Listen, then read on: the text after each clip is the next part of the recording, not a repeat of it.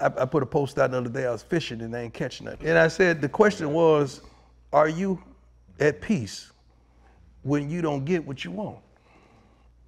Nigga, that's a question. Is that a question? Are you at peace when you don't get what you want? I am. I was out there fishing. I ain't catching nothing. Still out there peaceful, joy, love, laughter, fun. I love life, man. Right. Yeah, so I, that's a heck of a question.